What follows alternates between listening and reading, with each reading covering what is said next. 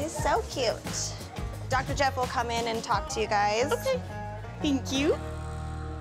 This is Mavis, and she's a teacup chihuahua.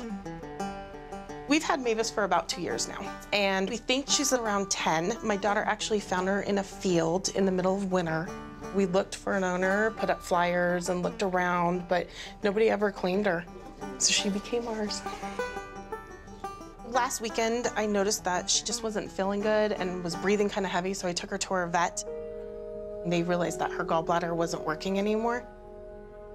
We looked around to find a place that would do the surgery, and most places said, we don't do gallbladders. She's pretty much my son's companion dog. He's disabled, and so she follows him wherever he goes.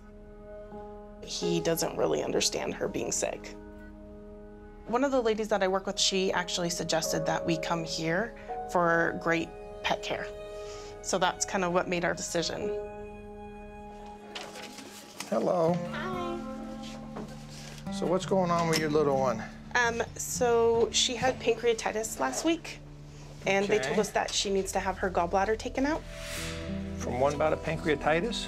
Yes. Explain the pancreatitis. Did she eat something unusual? Nope, she didn't eat anything unusual. Um, I just had noticed that she wasn't eating, was kind of Yeah. lethargic, and then kind of had some respiratory issues.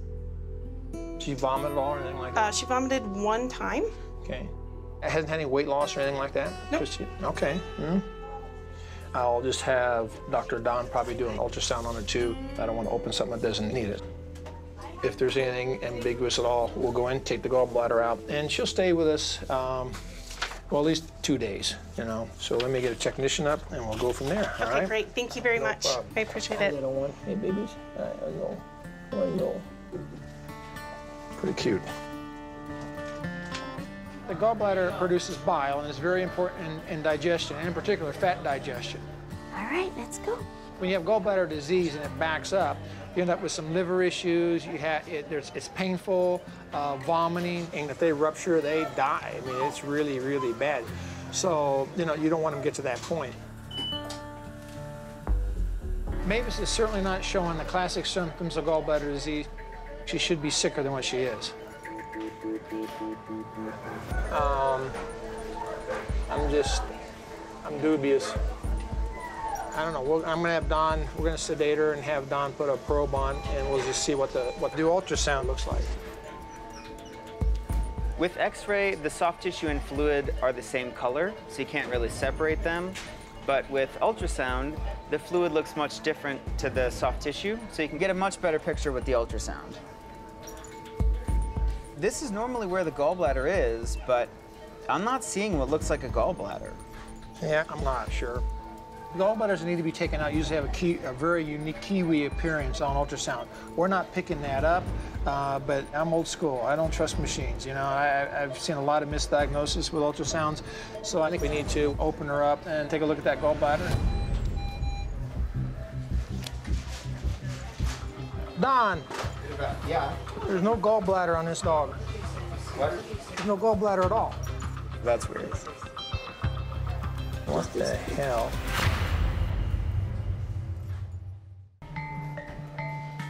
Maybe this is it.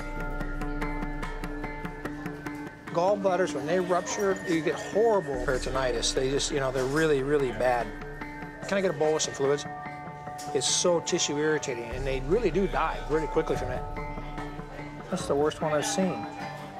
You know, I've, I've probably done as many surgeries as any person walking the planet, and consistently, you know, God will throw me a curveball. I think, oh, I've seen that before, and then you get in there, oh, what is this? I've never seen this before, you know? So it's, uh, you just never know what you're gonna get. It's pretty much just a dead gallbladder. I mean, dogs do fine without gallbladders, but I suspect that it was like there was no more bile passing through there, and it hasn't been. I mean, I, I doubt if there's been, that's not been a functional gallbladder in a long time. At this point for Mavis, it's drugs, you know, treat her underlying uh, peritonitis, which I do think there's some bacteria in there, uh, and get her eating, and hopefully we can send her home in the next two or three days. Hi. Hi. You're picking up Mavis, right? Yes, I am. Oh, she's gonna be so excited to go home. You're just adorable. Aren't you ready? Let's go back to the room and then we'll have somebody come in and talk to you. Okay, great, thanks. This has been almost what a two-week process of trying to figure out everything that's wrong with her. So this will be great to have her home with us again. Here we are.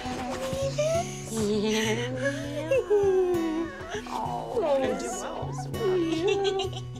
Hi, sweet nose. Well, she perked up.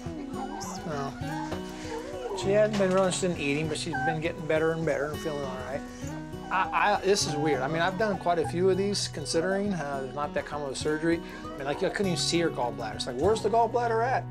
I mean, I, it's just weird. I, I really think she should not be this healthy, but she is. So, um, take her home, get her eaten. Okay, Okay, all great. right. Thank you so much. Thank I you. appreciate it. No problem. Bye, little one. She is very cute.